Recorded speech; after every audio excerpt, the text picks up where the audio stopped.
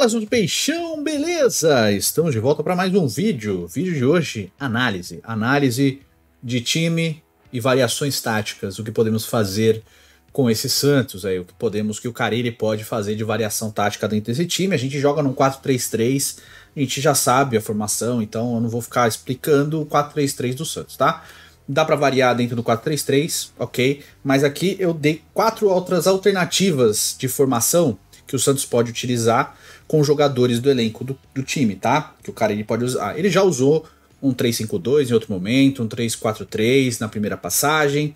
Acho que ele pode usar um 4-4-2, tá certo? Em linha, porque tem um 4-4-2 em losango e tem o em linha, vou falar dos dois, mas essas variações além. Acredito que ele vai ficar no 4-3-3 um bom tempo, ele até falou sobre isso na coletiva da vitória contra o Paysandu, ele fala, vou continuar, o time está acostumado com isso, mas eu acho isso ruim de só jogar no costume do time. Eu acho que é interessante um time que tem outras variações, às vezes no mesmo jogo, né, você ter alternativas diferentes de variação tática do que ficar preso a uma. Eu acho, sempre achei importante quem acompanha aqui tanto vem pro Peixão quanto o Futirinhas, eu sempre falo disso de variações táticas serem importantes pro time, tá? De antemão, avisando, tá tendo vídeo praticamente todos os dias aqui, então se você não viu outros vídeos e você está acompanhando ou você acompanha só pós-jogo, saiba que tem outros vídeos aqui. Então habilita o sininho aí e vem aqui. Passa aqui todo dia. Bota aí, vem pro Peixão na busca do YouTube, passa aqui que vai ter um vídeo novo para você assistir, beleza? É isso, tá bom? E também deixar um recado, caso você possa, seja sócio do Santos, o link tá aqui na descrição. Não é uma campanha do clube, é uma campanha minha, opcional, não tô ganhando nada com isso. Tô só pedindo para quem puder ser sócio do Santos, acessar o link aqui e ser sócio. Você sendo de longe, nesse momento eu sempre falo, vire sócio por amor. Embora eu ache que depois de quatro meses já dá para ter lançado uma reestruturação do plano de sócio torcedor, né? Algumas promessas que foram feitas para os torcedores naquele café que tive com a diretoria atual antes da eleição não foram cumpridas ainda. Eu entendo que precisa do match day, do que eles mostraram lá, precisa bastante do Pacaembu, mas dá para fazer na vila já, né? Eu entendo também que coisas demandam tempo, mas eu não vejo novidades. Então, para mim, por enquanto, é uma promessa não cumprida. E eu acho que é um negócio que já deveria estar tá em andamento, inclusive para o plano de sócios, tá? Mas digo, se puder ser sócio do Santos, o link tá na descrição. Seja sócio adimplente, tá bom? O sócio que paga, se você puder. Tem planos de vários valores ali, tem desde o plano Silver até o plano Black, né? Silver, Gold Black. Eu sou plano Gold, por exemplo. Você pode escolher um outro plano, todos têm direito a voto, tá bom? E caso você não possa, pelo menos entra no site e faz seu cadastro ali no plano no plano free, no plano grátis, para você ter dados e ter um contato já do Santos direto com você, tá? Não entra no número de sócios torcedores, mas já é um contato. E aí, quem, com o passar do tempo, quem sabe você acaba, né, é, se tornando sócio adimplente, beleza? O link tá na descrição, é só clicar aí direto lá e virar sócio do clube. Vamos lá. Vamos começar aqui, a gente já joga no 4-3-3, sabem bem, o Santos jogou inclusive nessa formação contra o, o Paysandu e entrou em campo com João Paulo no gol, Aderlan na direita, Gil e Joaquim na zaga, com o Rainer na lateral esquerda, meio de campo com João Schmidt, Pituca e Juliano, na ponta direita o Otero, na ponta esquerda o Guilherme e na frente o Enzo Monteiro depois entrou e teve substituições, o Furt, que é o titular, né, entrou no segundo tempo. Essa formação do Santos, tá? Acho que na direita vai entrar o JP Sherman, acho que na esquerda o Escobar talvez ganhe a vaga do Rainer. O Rainer tá com a camisa 3, tá? É um número fixo, então teoricamente ele tá de lateral esquerdo no Santos, tá? Ele tá com a camisa 3, mas acho que até o Souza pode ganhar essa vaga, tá? Nesse, aqui eu vou falar de outras variações. Eu vou começar com o 4-4-2, que é o que a gente está mais habituado, que é o clássico do futebol brasileiro também. O Brasil jogou muito tempo aí num 4-4-2, tá certo? Então eu vou falar primeiro da que eu acho que pode ser utilizado e dar uma alternativa para ela. Primeiro que eu acho que vai ser utilizado, se o Carilli optar por essa formação, até pela chegada do Patrick, que é um meia esquerda, não é ponta esquerda. Ele joga de meia do lado esquerdo, tá? Mas não joga de ponta, ele não é ponta atacante. Que é o 4-4-2 em linha. Essa 4-4-2 em linha é uma formação mais inglesa, é uma formação mais clássica da Inglaterra.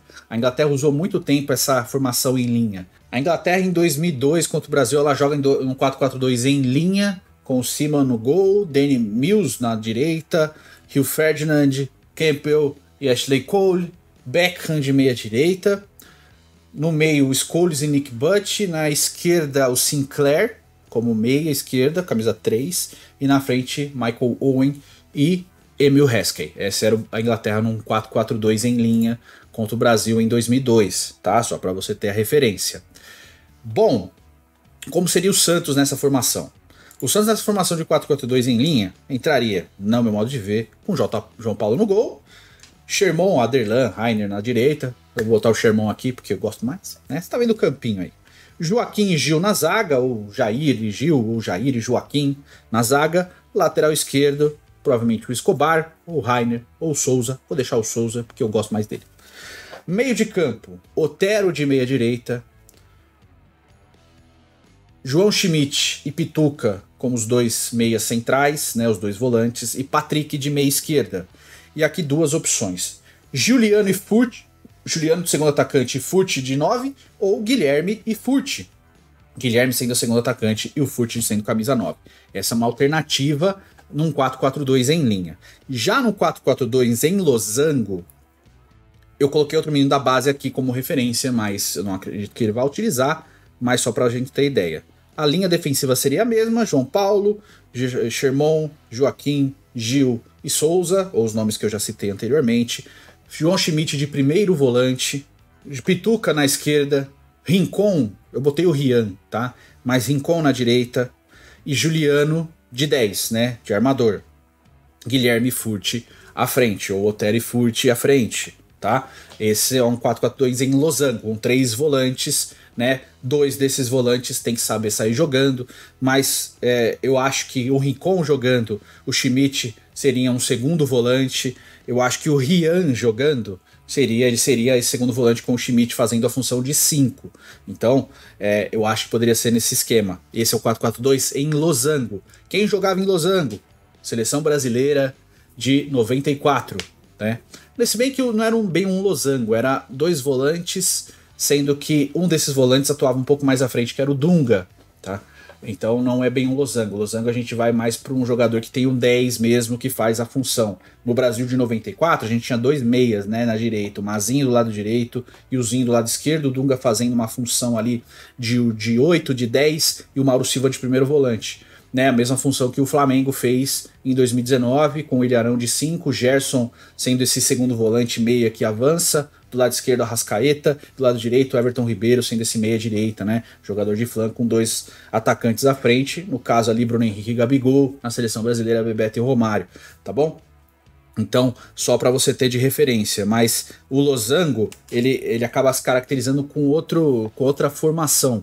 O Santos chegou a jogar com o losango na época de, de 2002, em alguns momentos usava o losango, mas o, o, Leão gostava muito de usar o Diego de meia esquerda e o Elano de meia direita. Em alguns momentos essa variação mudava, com o Diego sendo meia centralizado no losango, o Elano sendo meia esquerda ali, né, o meia direito, o Renato sendo o segundo homem de meio de campo, com o Paulo Almeida sendo o cinco clássico, né, o cinco primeiro volante marcador, né? Então tem essa característica também. Dá para fazer, já foi feito. O Santos do Neymar, finalista da Copa do, da, da, da Libertadores, também tinha um losango com o Ganso fazendo o primeiro volante, no, o meia, né, o camisa 10, o Elano do lado direito como meia direita e fazendo uma função de volante apoiador do lado direito, do lado esquerdo o Arouca fazendo essa mesma função e o Adriano Pagode sendo cinco clássico, cinco volante mais preso de marcação. Também tinha isso, era um losango, podia ser utilizado dessa maneira,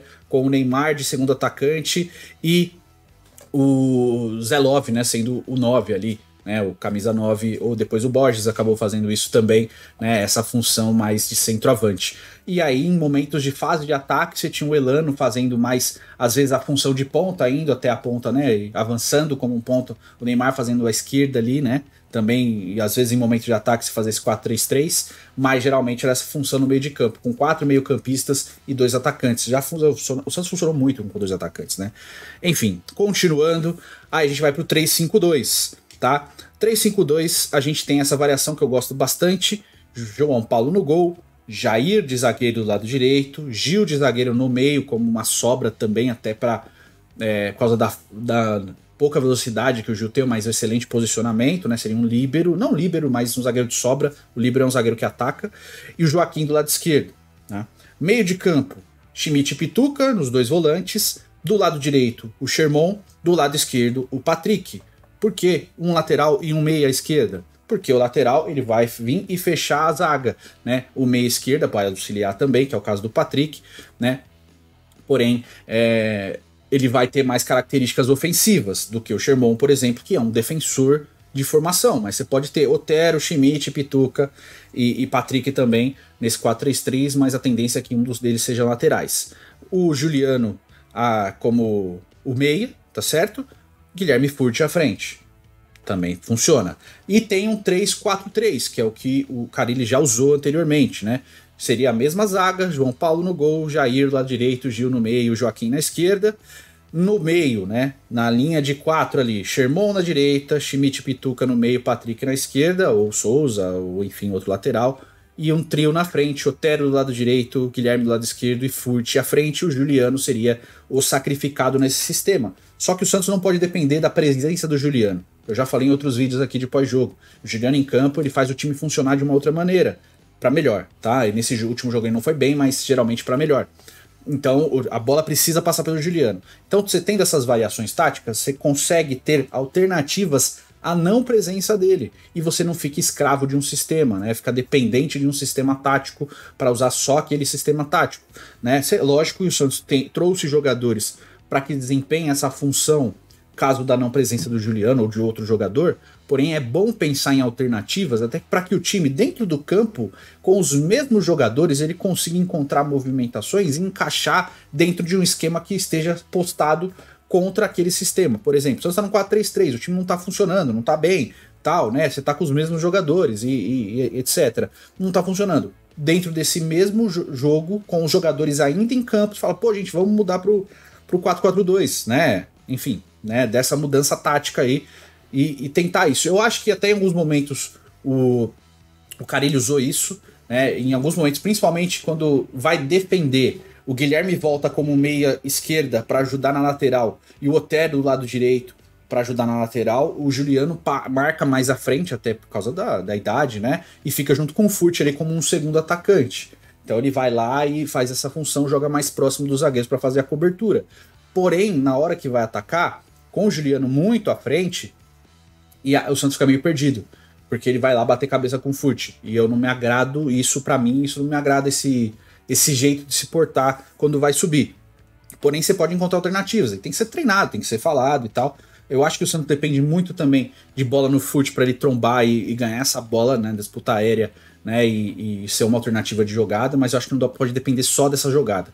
Tanto que quando o Furt entrou, e eu não acho o Furt o primor da técnica, eu acho ele muito voluntarioso, acho muito bom jogador, mas não acho o primor da técnica. Tanto que ele entrou no jogo, a postura é diferente, porque ele é esse cara do, de escorar. O Enzo, o Bigode, o Morelos, eles não têm essa característica de fazer a parede, proteger, subir muito bem, né, pela estatura, ganhar a bola do, do zagueiro e já construir a fase ofensiva. O Furt tem. Ele ganha no alto, porque ele é muito alto e muito forte, e aí já vira uma outra possibilidade de ataque. Então o Santos tem que encaixar. Às vezes eu tava conversando até com o Vitor Hugo lá, do canal do Ademir, junto com o Ademir, né? Que hoje é, é agora é a QTV. Enfim, tava conversando com o Vitor Hugo e fala, às vezes até o Bruno Marques, não gosto, tá, gente? Mas tô falando, às vezes até o Bruno Marques, pela estatura e por ter um jogador para característica parecida com a do Furt, talvez renda mais. Porque ele tem essa característica de ser esse pivô, né? Ele não é um centroavante de movimentação, ele é pivô. Então ele joga de costas pro zagueiro. Ele recebe, protege e faz a jogada, né? Então às vezes funciona. Mas é isso, gente, são só alternativas que eu pensei aqui, né? Você viu no campinho aí a distribuição tática, e às vezes é interessante. Eu gosto muito quando um time tem variações táticas. Eu gosto quando o time tem é, um sistema de jogo que é prioritário, e a gente entende, mas ter alternativas para que você encontre possibilidades contra outros adversários. Mas eu quero te ouvir, minha, minha opinião não é lei, é só uma opinião, tá certo? Diz sua opinião nos comentários, o que você acha, você acha interessante ter essas variações, né? Eu já falei em vários momentos, em outras outras, outros momentos do time, né? Em outros campeonatos, que o time precisava jogar no 3-5-2 ou jogar com três zagueiros porque encaixava melhor. Ano passado, mesmo com rebaixamento, em determinado momento funcionou, né? Naquela chegada ali do, do, do presuntinho, né? Do, do Marcelo Fernandes, montando o time ali naquela recuperação que o Santos vence Bahia, Flamengo e Palmeiras. e joga bem contra o Bragantino, mesmo perdendo. Né? Aquele momento o Santos estava com três zagueiros, depois ele muda de novo e fica meio bagunçado. Mas enfim, é, eu acho que é interessante ter essas alternativas até para um time render de maneiras diferentes e você não ficar preso a um sistema tático. Mais de sua opinião nos comentários, tá certo? Se inscreve aqui no canal. Volta aqui amanhã que tem vídeo novo, tá certo? Nos vemos no próximo vídeo. Fiquem com Deus. Um beijo, um queijo, até logo e